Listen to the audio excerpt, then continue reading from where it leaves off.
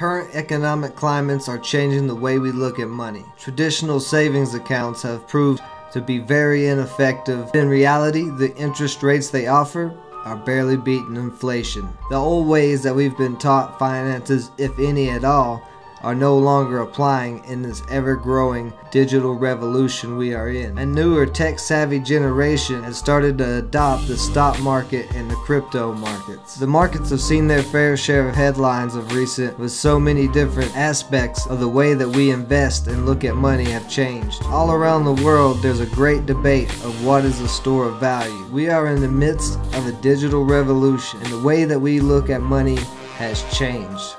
But we've come to a point. What is money? Will Bitcoin rain blockchain and altcoins all over the reigning champs parade? That shiny little rock that's been sought and fought for for over a millennia? Well, I'm here to answer that question. Is gold better than Bitcoin or is Bitcoin superior? Welcome to Framework Fortune. I'm your host Ben and I'm here to finally end this debate that has been plaguing the globe between top economists and investors. Is Bitcoin better than its historical counterpart gold? Or is gold the ultimate store of value? Value is what we say it is the laws of supply and demand.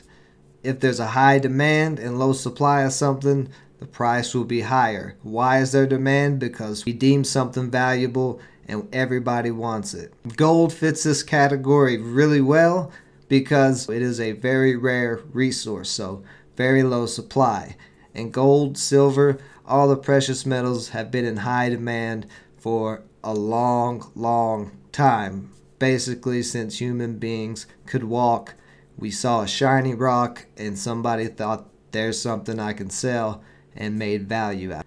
And now Bitcoin fits that definition as well. There's a low amount of Bitcoin out there, so low supply, and right now a very high amount of demand especially for Bitcoin, but other cryptocurrencies as well. And if you ask me which one I prefer, I prefer both.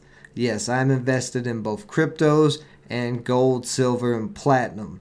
Physical gold, silver, and platinum, as well as mining stocks. And to me, there's no debate which one is better than the other. I think there are two different assets, and both are very good investments because they both meet the criteria of real supply and demand. If you look at what gold and silver is used for, it is made in every single cell phone, computer chip, motherboards, circuit boards, all of that. With cryptocurrencies, you need a lot of big hardware to run all that blockchain mining and networking. So as cryptos continue to grow, the demand for silver and gold will continue to grow as they will need more computing power and will continue to need chips. Everything in the world just about runs on some type of chip, either be Intel, AMD, or some other company. Anything that is technological is going to be running those chips, and those chips have that gold and silver. So we are in a digital revolution as that continues on. That just means more demand for gold and silver, and both of those have a shrinking supply because if you talk to any big mining companies. They're drilling down deeper than they've ever had to dig, and the quality of gold and silver is going down. I think this is a big correlation between the cryptocurrencies and gold and silver that should actually have them on the same path with upward movement. This is the Bitcoin chart right here, and if we go look at gold, you can see they're almost total opposites. Where we had gold running back here, and then it's been on this downtrend. And then I look at Bitcoin and we see it's been on this nice uptrend. Why are they moving in opposite directions? To have these cryptocurrencies available and to make these networks run faster, you're going to need gold and silver. So why is Bitcoin going up and all of these altcoins, but gold is going down? And we look at silver, same thing. Silver went on a run earlier and has been going sideways, not really making much movement. So, looking at those, there's a disconnect to me in the reality of the supply chain because breaking it down to the base level, cryptocurrencies are a digital investment and gold and silver is a physical investment.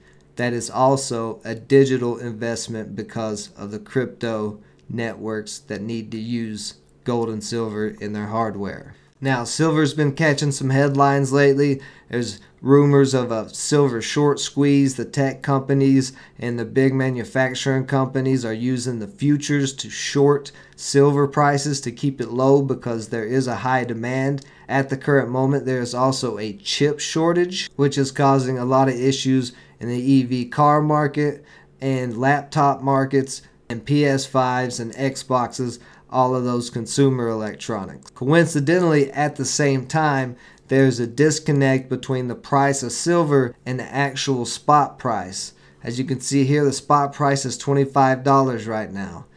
I will bet you an ounce of silver, if you go into any bullion store right now for physical silver or coin store, they're going to be 5 to $15 over the spot price at least. So that means the spot price is $25. You're not going to be able to get an ounce for $25. The best you could probably get it, and this would be junk silver, is 30 an ounce. You go on eBay right now and look at the one ounce silver rounds and bars. They're up to $50. So there's a huge disconnect here. And me, that brings validation to this short squeeze theory that has been going around the internet. If you look back in 2010, silver had actually went on a massive run all the way up to $50 an ounce. There's not really any reason why demand has slowed down as the economy was growing back through here and more and more tech solutions were being created, but yet the price of silver has continued to go down. Got a little bit of a pop in 2016, but not much. But here recently, you can see the spot price has started going up. So right now, an ounce of silver is actually still pretty cheap when back here it was all the way up at 50. And if demand is continuing, then there could be even more room that could actually push out the short squeezers. I'm thinking we may even see silver up to a hundred bucks a troy ounce here soon. Gold has become more valuable over time continually. You're looking at the gold chart. You can see it got held down here for a while.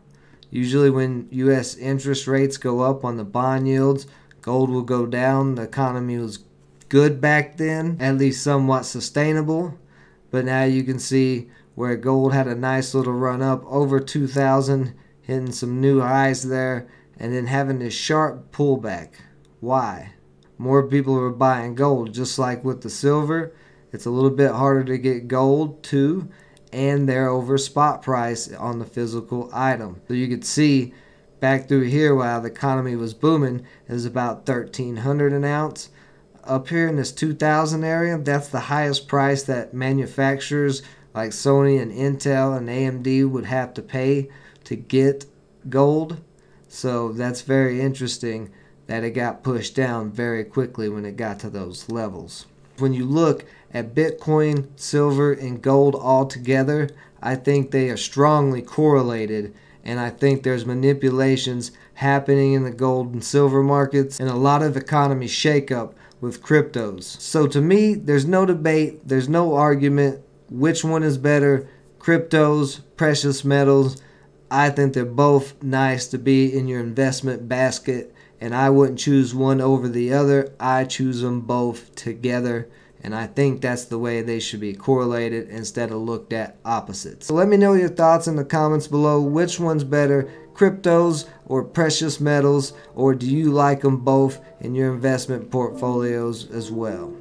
I'm your host, Ben. You've been watching Framework Fortune.